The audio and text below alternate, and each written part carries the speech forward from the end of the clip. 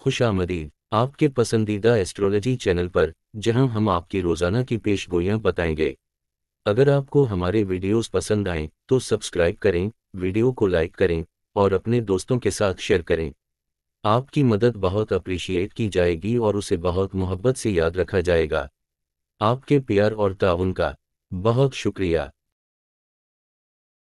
जैसा कि हम एक नए हफ़्ते का आगाज़ कर रहे हैं कायनाती तोानाइयाँ हर जोडियक साइन के लिए मुनफरद मौाक़े और चैलेंजेस पैदा करने के लिए तरतीब पा रही हैं। इस हफ़्ते हम ये जानेंगे कि सितारे आपके करियर, ताल्लुकात, माली हालत और सेहत के हवाले से क्या पेश करते हैं। चाहे आप अपने पेशा वराना सफ़र के लिए रहनुमाई तलाश कर रहे हों, मोहब्बत की ज़िंदगी में बसीरत हासिल करना चाहते हों, या अपनी सेहत को बरकरार रखने के लिए मशवरे चाहते हों, कायनात के पास ऐसे पैगाम हैं जो आपको आने वाले रास्ते को समझने में मदद कर सकते हैं।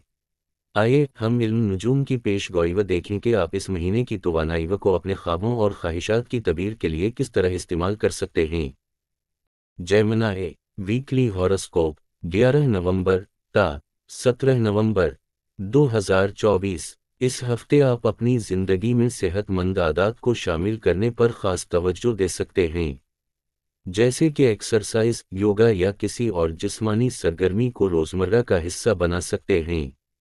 मौजूदा सयारों और सितारों की खुशगवार गर्दिश आपको सेहत की अहमियत का एहसास दिलाएगी, इसलिए उस वक्त का भरपूर फ़ायदा उठाएँ। सेहतमंद आदात न सिर्फ़ आपको जिस्मानी तौर पर मज़बूत बनाएगी, बल्कि जहनी सुकून भी फराहम करेंगी, जो आपकी रोज़मर्रा ज़िंदगी को बेहतर बनाएगा। राहु के दसवें घर में मौजूद होने की वजह से यह हफ़्ता माली तौर पर कुछ मुश्किलात पैदा कर सकता है। इसलिए अपनी जेब पर नज़र रखना और गैर ज़रूरी अखराज से बचना नहायत ज़रूरी है। फजूल खर्ची से इजतनाब करें वरना आपको माली मुश्किल का सामना करना पड़ सकता है और बाज़ अवकात ख़ानदान में शर्मिंदगी का बायस भी बन सकता है। मालियात को संभालने के लिए मोहतात रहें और जहाँ मुमकिन हो, अपनी तरजीहत के मुताबिक खर्च करें ताकि किसी भी गैर मुतव सूरत हाल से बचा जा सके। अगर इस हफ़्ते आपको कोई बड़ा फैसला लेना है तो इस मामले में ख़ानदान के अफराद, ख़ास तौर पर बुज़ुर्गों से मशवरा ज़रूर लें। किसी भी अहम कदम को आखिरी शक्ल देने से पहले दूसरों की राय और तजर्बे का फ़ायदा उठाएँ। मुमकिन है कि आपका अकेला फैसला किसी मुश्किल में इजाफा कर दे, लेकिन अगर आप ख़ानदान में तालमेल पैदा करते हैं और बुज़ुर्गों की नसीहत पर अमल करते हैं तो नतज आपके लिए बेहतरीन साबित हो सकते हैं। तिजारत करने वाले अफराद के लिए यह हफ़्ता ख़ास तौर पर खुशकस्मती का हामिल हो सकता है। मुख्तलिफ़ ज़राए से आपको मुनाफा कमाने का मौका मिलेगा।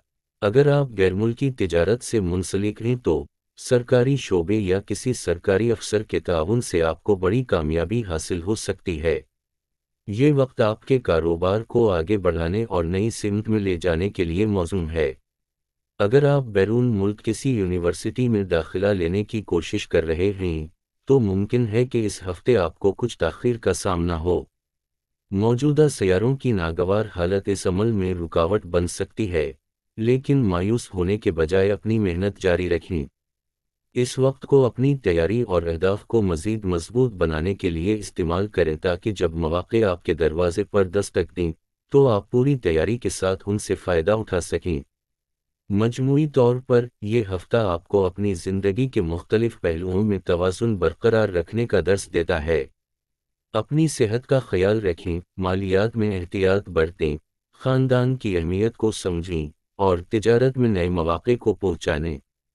अपनी तोानाई को मुस्बत तरीके से इस्तेमाल करें और हर फैसला सोच समझ कर करें, ताकि आपकी ज़िंदगी में खुशियों और कामयाबियों का सिलसिला जारी रहे। अगर आपको हमारे वीडियोस पसंद आए तो सब्सक्राइब करें, वीडियो को लाइक करें, और अपने दोस्तों के साथ शेयर करें। आपकी मदद बहुत अप्रिशिएट की जाएगी और उसे बहुत मोहब्बत से याद रखा जाएगा। आपके प्यार और ताउन का बहुत शुक्रिया।